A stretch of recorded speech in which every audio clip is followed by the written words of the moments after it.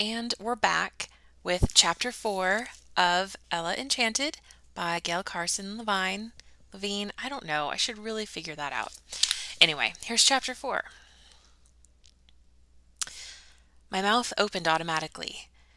The spoon descended, and a hot, but not burning, swallow poured in. Mandy had gotten the carrots at their sweetest, carrotiest best. Weaving in and out of the carrots were other flavors lemon, turtle broth, and a spice I couldn't name. The best carrot soup in the world. Magical soup that nobody but Mandy could make. The rug, the soup. This was fairy soup. Mandy was a fairy! But if Mandy was a fairy, why was Mother dead? You're not a fairy. Why not? If you were, you would have saved her. Oh, sweetie, I would have if I could. If she'd left the hair in my curing soup, she'd be well today. You knew? Why'd you let her? I didn't know till she was too sick. We can't stop dying. I collapsed on the stool next to the stove, sobbing so hard I couldn't catch my breath. Then Mandy's arms were around me, and I was crying into the ruffles along the neck of her apron, where I had cried so many times before for smaller reasons. A drop landed on my finger. Mandy was crying too. Her face was red and blotchy. I was her fairy godmother too, Mandy said. And your grandmother's. She blew her nose. I pushed out of Mandy's arms for a new look at her. She couldn't be a fairy. Fairies were thin and young and beautiful. Mandy was as tall as a fairy was supposed to be, but who ever heard of a fairy with frizzy gray hair and two chins? Show me, I demanded. Show you what? That you're a fairy, disappear or something. I don't have to show you anything, and, with the exception of Lucinda, fairies never disappear when other creatures are present. Can you? We can, but we don't. Lucinda is the only one who's rude enough and stupid enough. Why is it stupid? Because it lets people know you're a fairy. She started to wash the dishes. Help me. Do Nathan and Bertha know? I carried plates to the sink. Know what? That you're a fairy. Oh, that again. No one knows but you, and you'd better keep it a secret. Mandy looked her fiercest. Why? She just scowled. I will, I promise, but why? Well, I'll tell you. People only like the idea of fairies. When they bump up against a particular real as corn fairy, all, there's always trouble. She rinsed a platter. You dry. Why? Because the dishes are wet, that's why. She saw my surprised face. Oh, why is there trouble? Well, two reasons mostly. People know we can do magic, so they want us to solve their problems for them. When we don't, they get mad. The other reason is we're immortal. That gets them mad too. Lady wouldn't speak to me for a week when her father died. Why doesn't Lucinda care if people know she's a fairy? She likes them to know, the fool. She wants them to thank her when she gives them one of her awful gifts. Are they always awful? Always. They are always awful, but some people are delighted to have a present from a fairy, even if it makes them miserable. Well, why did Mother know you're a fairy? Why do I know? All the Eleanor line are friends of the fairies. You have fairy blood in you. Fairy blood? Can I do magic? Shall I live forever? Would Mother have if she hadn't gotten sick? Are there many friends of the fairies? Very few. You're the only one left in Kyrria. And no, love, you can't do magic or live forever. It's just a drop of fairy blood. But there's one way it has already started to show. Your feet haven't grown for a few years, I'll warrant. None of me has grown for a few years. The rest of you will grow soon enough, but you'll have fairy feet like your mother did. Mandy lifted the hems of her skirt and five petticoats to reveal feet that were no longer than mine. We're too tall for our feet. It's the only thing we can't change by magic. Our men stuff their shoes so no one can tell, and we ladies hide them under our skirts.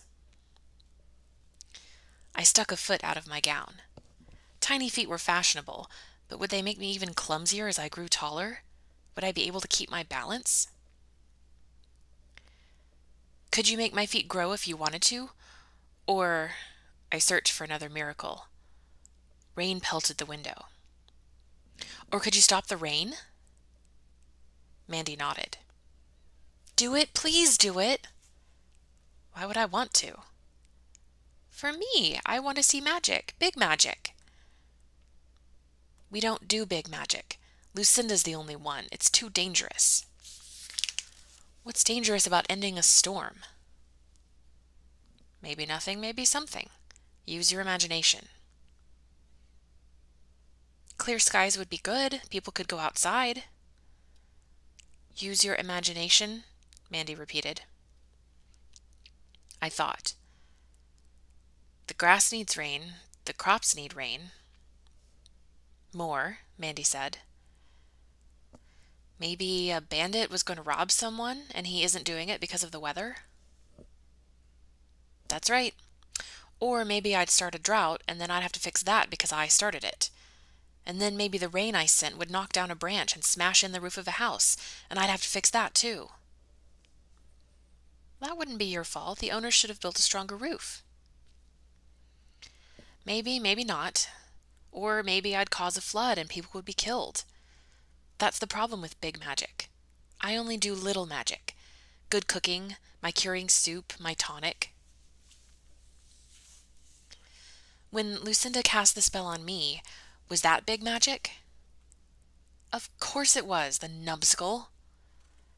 Mandy scoured a pot so hard that it clattered and banged against the copper sink. Tell me how to break the spell, please, Mandy. I don't know how. I only know it can be done. If I told Lucinda how terrible it is, would she lift the spell, do you think? I doubt it, but maybe. Then again, she might take away one spell and give you another even worse. The trouble with Lucinda is ideas pop into her head and come out as spells. What does she look like? Not like the rest of us, but you'd better hope you never lay eyes on her. Where does she live? I asked. If I could find her, maybe I could persuade her to lift my curse. After all, Mandy could be wrong. We're not on speaking terms. I don't keep track of the whereabouts of Lucinda the idiot. Watch that bowl! The order came too late. I got the broom. Are all friends clumsy? No, sweet, fairy blood does not make you clumsy. That's human. You don't see me dropping plates, do you? I started to sweep, but it wasn't necessary. The pieces of pottery gathered themselves together and flew into the trash bin. I couldn't believe it. That's about all I do, honey. Small magic that can't hurt anybody.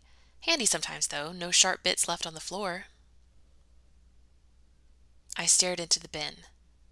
The shards lay there. Why didn't you turn it back into a bowl? The magic's too big. Doesn't seem like it, but it is. Could hurt someone. You never know. You mean fairies can't see the future? If you could, you'd know, wouldn't you? We can't see the future any more than you can. Only gnomes can, a few of them anyway. A bell tinkled somewhere in the house. Father calling one of the servants. Mother never used the bell. Were you my great grandmother's fairy godmother, too? A thousand questions flooded in. How long have you been our fairy godmother? How old was Mandy, really? Bertha came in. Sir Peter wants you in the study, miss. What does he want? I asked. He didn't say. She twisted one of her braids anxiously. Bertha was scared of everything. What was there to be afraid of? My father wanted to talk to me. It was only to be expected. I finished drying a plate, dried another, then a third. Best not tarry, little mistress, Bertha said. I reached for a fourth dish. You'd better go, Mandy said, and he won't want to see that apron. Mandy was frightened too. I took off the apron and left. I stopped just within the doorway of the study. Father sat in Mother's chair, examining something in his lap. Ah, there you are, he said. He looked up. Come closer, Ella. I glared at him, resenting the order. Then I took one step forward. It was the game I played with Mandy obedience and defiance. I asked you to come closer, Eleanor. I came closer. Not near enough.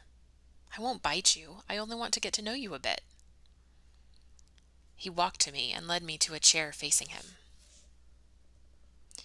Have you ever seen anything as splendid as this? He passed me the object he'd had in his lap. You can hold it. It's heavy for its size. Here. I decided to drop it since he liked it so much. But I glanced at it first, and then I couldn't. I held a porcelain castle no bigger than my two fists, with six wee towers, each ending in a miniature candle holder.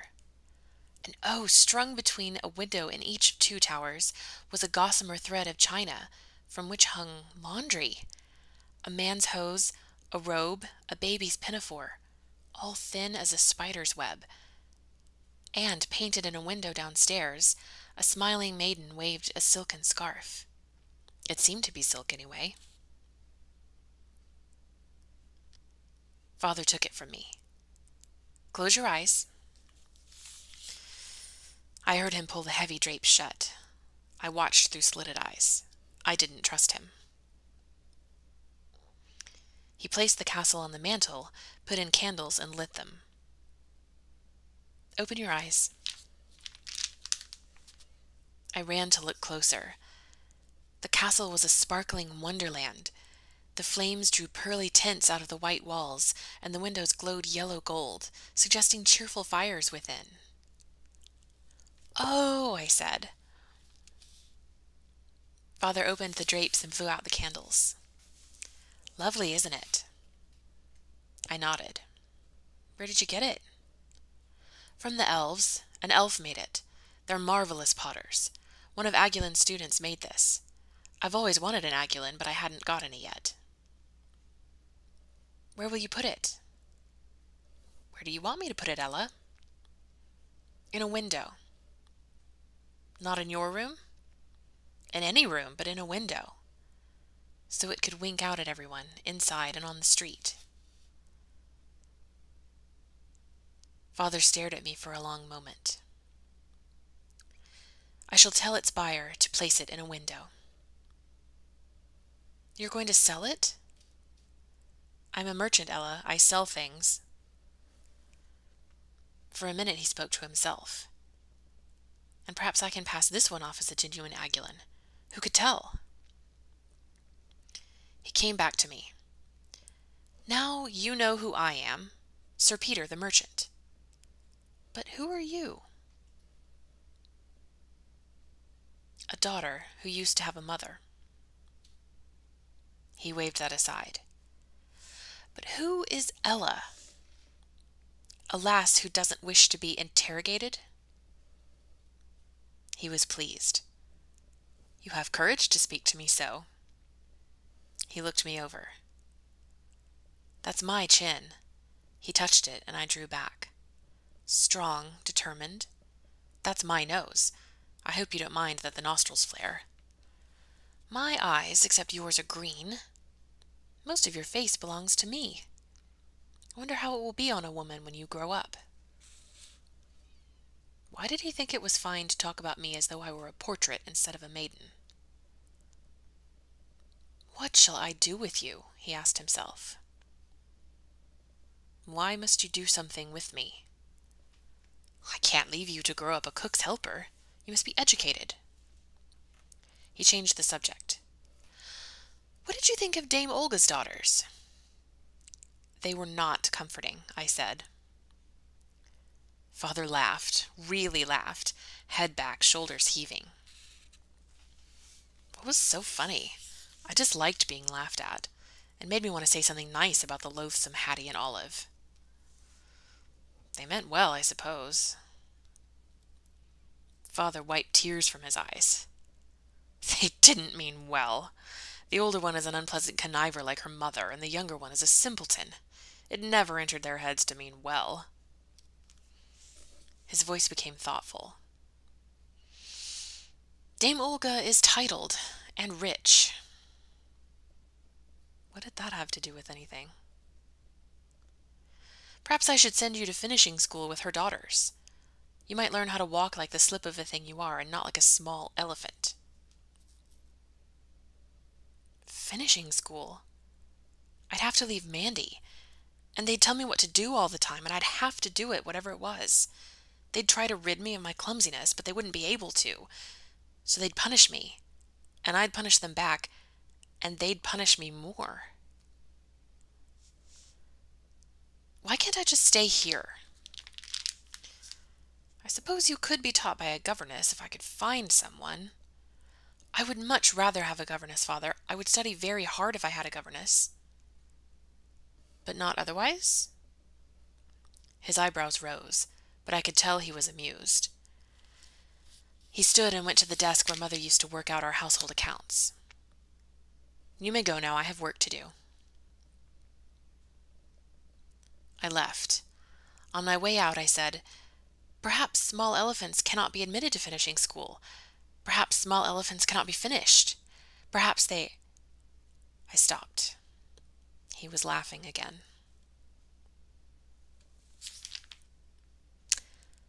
Chapter 4. We'll see you next time for Chapter 5.